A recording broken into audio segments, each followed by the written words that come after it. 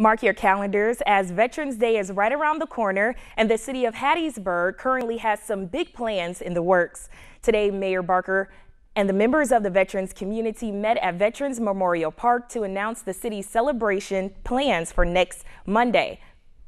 Begins that morning with a parade coming down Hardy Street, beginning at 10 o'clock, finishing at Hattiesburg Veterans Park. Public is invited to it.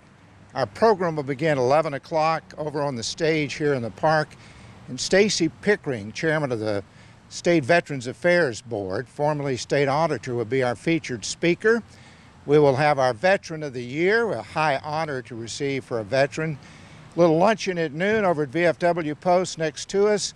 And then 1 o'clock, Dr. Wiest and panel will have a forum on World War I.